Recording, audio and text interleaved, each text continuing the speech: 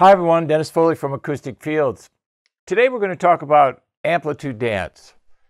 Kind of a play on words here, but I want you to kind of get a feel for your room. Uh, you know, let's use some numbers. Everybody's always crying measurements, measurements, measurements. But here's the problem people don't know what the measurements mean.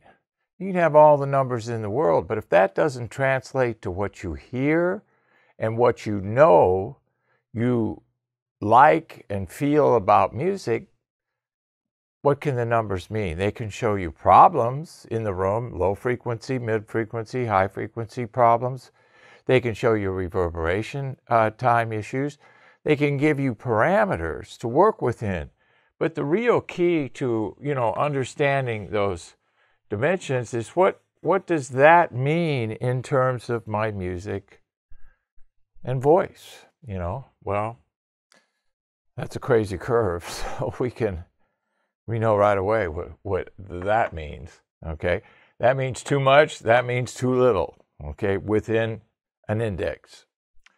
So the bottom line here is you gotta kind of think a little bit like your room reacts because the room only sees energy and it's going to react based on dimensions, it's going to sound based on material types, it's going to keep noise out based on proper readings and proper barrier technology.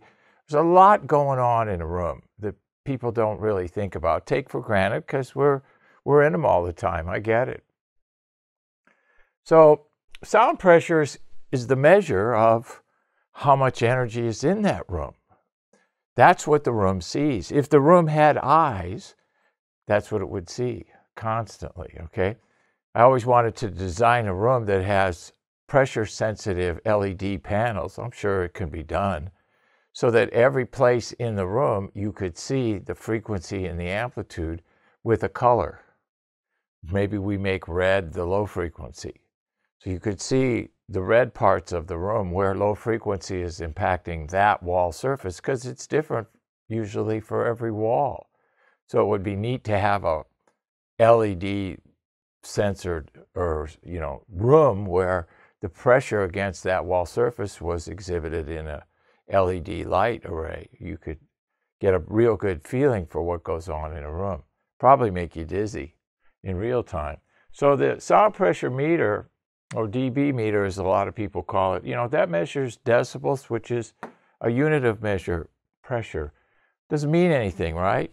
Okay, unit of measure, decibel. But here, let's let's give some examples, and I think you'll you'll understand. Normal speed, 60, 65 dB SPL. Okay, there's a reference. Jet engine, 170 dB SPL. That can blow your eardrums out. Okay, so there's two extremes, so to speak minimums and maximums that, that we can look at and reference. So get yourself an SPL meter. They're all over the place. You can find them. In the studio here, we use the nine inch ones, mainly so I can see them without glasses. And uh, make sure they're calibrated. You know, they're, they're pretty close. They're not going to be exact, but they're pretty close. And then take that pressure meter and put it between your speakers. If you have floor standers, put it between the speakers. Stand it on top, put it on top the speaker. Put one on top the left, one on top the right. Put one on top the gear, maybe. And watch. You know, watch how things move. Here's a, an example, short little clip of what goes on in my two channel rig in my new multi channel studio. You can see things moving all the time, up and down, mins and maxes, pressure variances. Low frequency pressure, right, produces the greater reading, more pressure. So everything is kind of lumped together in this measurement, but that's not the point. The point is just look at how it varies in real time with the music. I mean, it can it can go 2 dB variance, it can go 4 dB, 6 dB, 10 dB maybe, right? So you get this time domain and you get this huge pressure variance, you know, between this point and this point, all the time moving, you know, it's like wow, up and down. So that's what the room sees. put a SPL, we're going to do that here in the uh, multiple channel studio. We're going to put a pressure meter uh, reading on each wall surface and see if how that varies. So we can look at all of that. So what does all this variance mean? Well, if you're a room and you're getting hit with all this, you know, energy uh, types and amplitudes, the treatment must have the proper rate and level to deal with all of that, right? The treatment has to be consistent because what you're treating is not. It's the farthest thing from consistency that you could get. 50 dB in one second, 60 dB in another. Now I met, project that onto each wall surface.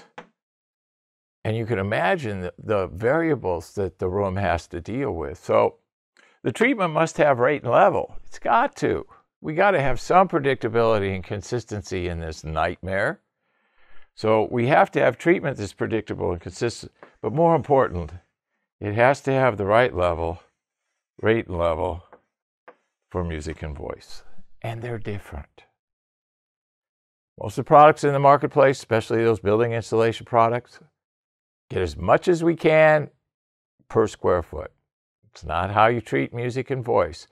You don't change energy from music and voice into another form through friction. You don't change energy into heat and have absorption in order to manage it. In a sense, you're destroying it in order to manage it. Not good. It's when you get overabsorbed rooms, too dead lifeless mid ranges, no realism. This is the problem. So, rate and level are critical. So, I thought this would be a little fun exercise to get you thinking about how the room sees things, not what you want or what you think, but what the room sees. Hope this helps. Thank you. Thank you for watching this video, and if you liked it, please give us a thumbs up.